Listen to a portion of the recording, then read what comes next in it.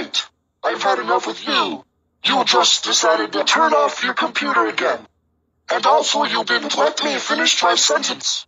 And yes, the timer is now down to 30 seconds.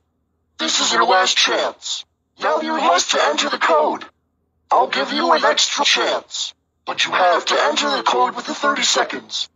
I swear to God, please, stop turning it off. I'm sure this won't be too hard. There. I sure hope the code works.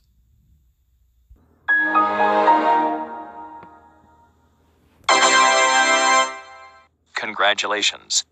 You've entered the correct code. Now you can go back to your computer session. Sorry about the error showing up. I promise it won't happen again. Goodbye.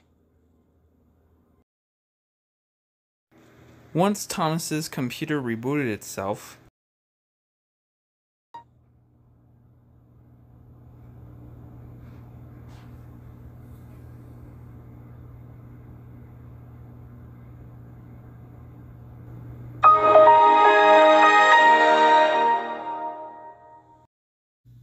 Well, thank goodness.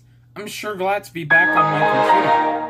I sure hope another error doesn't show up. Congratulations. You've entered